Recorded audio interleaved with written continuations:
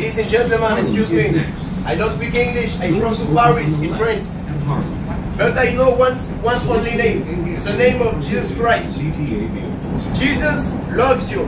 Today is the day of Jesus Christ wants save you. Because Jesus loves you. He won't change your life. Un día en Francia, en París, una señora se acercó a mí y me dijo, Dios te está llamando. En ese momento yo era un joven que andaba lejos de Dios.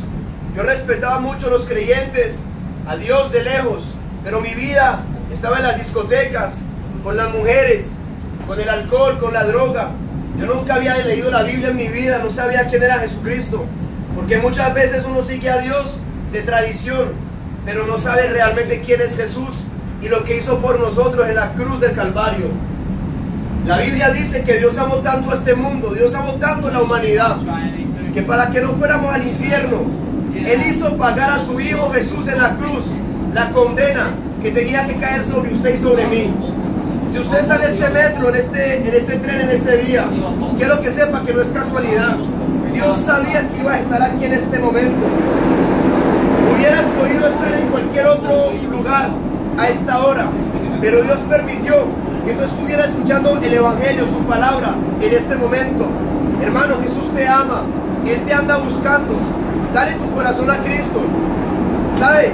Un día estuve en México, soy de Colombia, de padres colombianos, pero estaba en el DF, del distrito. Y me acuerdo, un día prediqué en un barrio que se llama Ecoutepec.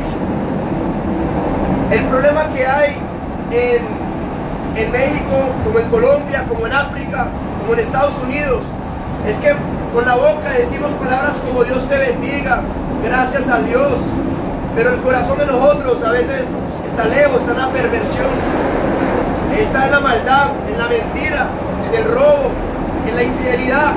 Damos nuestro cuerpo a cualquier mujer, al alcohol, pero hoy Jesús quiere santificarnos. Vea hermano, yo era una persona que yo no, yo no podía pasar una semana sin tomar alcohol, sin ir a rumbear, sin estar con mujeres.